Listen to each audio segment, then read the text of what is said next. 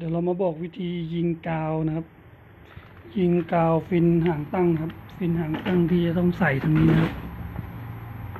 ที่จะต้องใส่ตรงนี้ จะมีช่องเสียบให้นะครับ แล้วก็เสียบเข้าไป แต่ก่อนยิง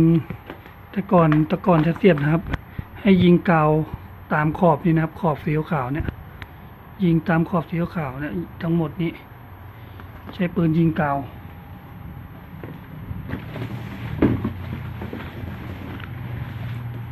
ช้ปืนยิงกาวนะครับ ยิงยิงที่ขอบขอบนี่นะครับ ขอบสีขาวเนี่ยยยิงที่ขอบสีขาวสองสองฝั่งนี้สองฝั่งนี้พอยิงขอบสีขาวเสร็จก็เอามาเสียบเลยนะครับ เสียบแล้วก็จับให้มันแน่นก่อน ให้มันแข็งตัวก่อน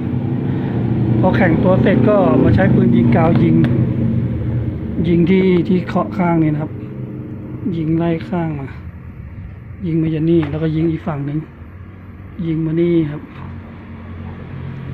แล้วพอยิงนี่เสร็จปุ๊บก็มายิงฝั่งอันนี้ ยิงฝั่งใต้นี้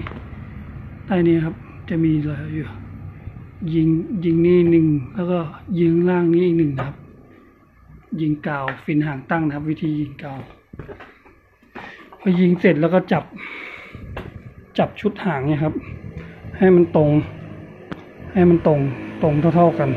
สองข้างก็แต่งแล้วก็จับให้มันแข็งก่อนแล้วก็ ดูให้มันตรงครับพอตรงก็โอเคครับ ไม่มีอะไร วิธียิงกาวฟินหางตั้งของซูสามสิบนะครับ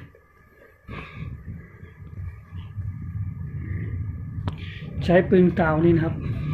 ปืนกาวร้อนเสียบปลั๊กไฟ ใช้กาวแท่งครับกาวแท่งเนี่ยกาวร้อนแท่ง เวลายิงฟินหางตั้ง โอเคครับ อันนี้เป็นวิธียิงฟินห่างตั้งของโซสามสิบนะครับสเตลก็เหมือนกันนะครับสเตลก็เหมือนกันยิงยิงใต้ขอบขอบล่างก่อนพอยิงเสร็จแล้วก็เสียบแล้วก็มายิงด้านข้างครับ เพราะว่าที่ผมไม่ยิงไปให้นะครับ เวลาจะส่งแล้วไปรษณีย์ชอบทำหักทำพังนะครับ เพราะปกติเขาจะไม่ยิงกันไปก่อนนะครับเพราะถ้าเรายิงไปได้แต่จะมีการเสียหายเกิดขึ้น นี่เขาจะยิงกันไปทีหลังแล้วพวกฟินหางตั้ง ก็ให้ลูกค้าไปยิงกันเอง